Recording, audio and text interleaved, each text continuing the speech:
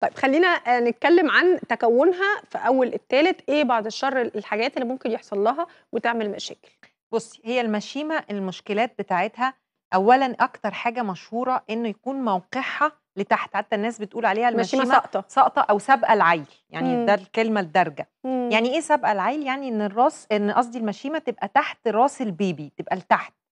دي طبعًا آآ حاجة آآ م بتبقى شوية مُقلقة، بس بتتشخّص إمتى؟ مهم جدًا إنها بتتشخّص بعد الخ يعني في الخامس، لإن في الأول قبل الخامس بتبقى ممكن هي أنتِ شايف إح إحنا شايفينها بالسونار تحت، بس لمّا الرحم يكبر هتلاقي موقعها هي طبيعي بتطلع لوحدها. آه، هتلاقي موقعها كويس، أوكي. خلاص؟ فما نقدرش نقول 100، 100 إنها لأ موقعها تحت إلا بعد الشهر الخامس. مهم جدًا إن إحنا نبقى عارفين كل ست بتتابع الحمل في حاجات ضرورية لازم تبقى عارفاها،.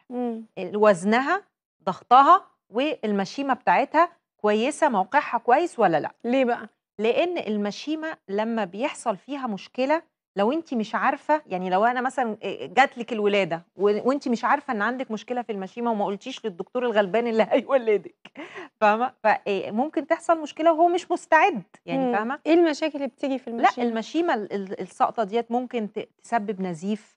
ممكن تبقى لازقة، دي المشكلة الأخرى إن المشيمة آآ تبقى لازقة في جدار الرحم أو تطلع حتى برّه جدار الرحم وتلزق في ال أ الأعضاء اللي حوالين الرحم، فدي طبعًا حاجة خطيرة جدًا.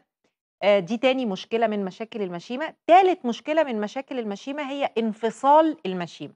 إمم. انفصال المشيمة قبل الولادة أو في في فترة مثلًا الشهر التامن أو السابع أو كده، ديّة برضه ممكن تسبب مشكلة كبيرة للأم. ده معناه إن الأم لازم تولد صح؟ بالضبط، لازم الأم تولد لإن ده طبعًا انفصال المشيمة فخلاص إحنا فاهمين بقى البيبي مش هيوصل له ولا أكسجين ولا ولا هيوصل له أي تغذية ولا أي حاجة وهو كمان ممكن يتضرر، بس طبعًا إحنا ما بنبقى مهتمين أكتر بصحة الأم طبعًا، فالأم بقى ممكن يحصل لها نزيف شديد جدًا وممكن يعني لا قدّر الله يحصل لها مشكلة كبيرة، فلازم نبقى مستعدين.